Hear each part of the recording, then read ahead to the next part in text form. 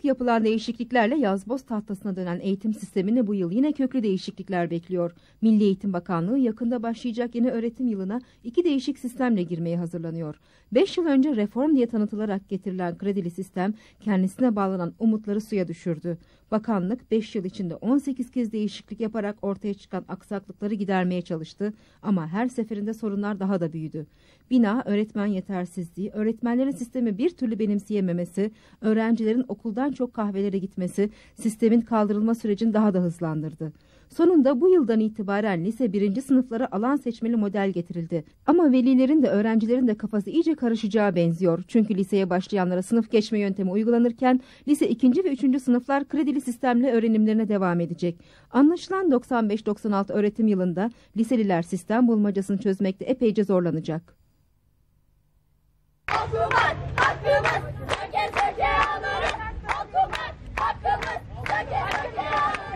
Ön kayıt yaptırdıkları okulun kontenjanları yarı yarıya indirmesiyle açıkta kalan 120 öğrenci uğradıkları haksızlığı protesto için tramvay yolundaydı. Eylem sırasında yoldan geçen Emniyet Müdür Yardımcısı Reşat Altay bile çaresiz öğrenciler karşısında bir polisten çok öğrenci babası gibiydi. Ben söyleyeyim vali yardımcısına söyleyeyim bir gidin anlatın bir daha bakalım. Tramvay yolundaki sloganlı yürüyüşten sonra okullarına geri dönen öğrenciler eylemlerini haklarını alıncaya kadar sürdürmekte kararlılar. Öğretmen var mı? Var. Öğrenci var mı? Var. Sınıf var mı? Gene Orta Asya'da bir kurdun arkasından gidiyoruz güzel. He. İsmet Paşa, 50 yıl önceki İsmet Paşa'nın arkasından niye gitmiyorsunuz ya? Milliyetçisi bu da milliyetçilik. Havesi de söyleyeyim. Milliyetçilik bizimdir. Bizim altı tane okumuz var. Bu altı tane ok var. Bu altı okun en uzunu milliyetçiliktir. Böyle altı tane oku olup da uzun olan bir varsa çıksın meydana. Güzel kardeşim yolunuz yanlış. Çağ dışı kalmışsınız.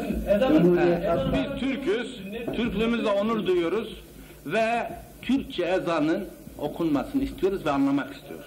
Yani Türkiye'nin sağın iki şeyi var. Turban, başka uğraşacak bir şeyiniz yok mu ya? Başka uğraşacak bir şey yok kardeşim ya. Başka uğraşacak bir şeyiniz yok abi. Çağdaş olun ya, biraz çağdaş olun ya. Sen niye başörtüsüne buraya gelmedin ki? Buraya gel başörtüsüne gel. Sakalım ben geldim benim sünnetim sakalım. Sünnetin kabul ola. Türkiye'de sağ türümüz, sağın turban dışında başka bir şey yok.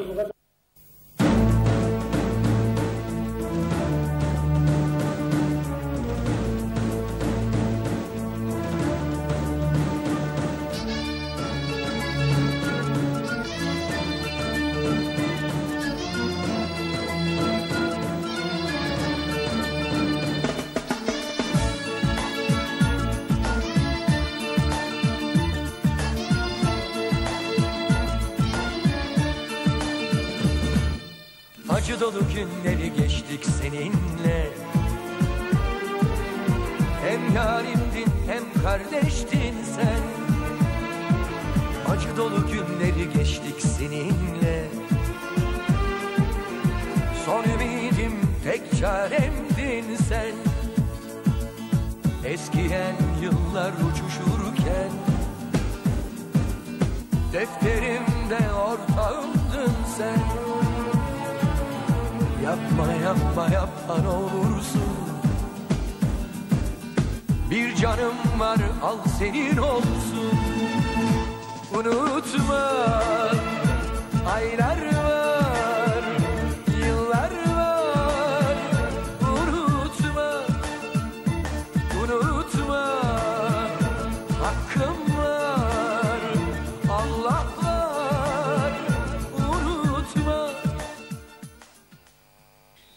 Refah Partisi Genel Başkanı Necmettin Erbakan, partisinin Merkez Karar ve Yönetim Kurulu toplantısının açılışında yaptığı konuşmada eleştiri oklarını yine Başbakan Tansu Çiller'e yöneltti ve Çiller'i mankene benzetti.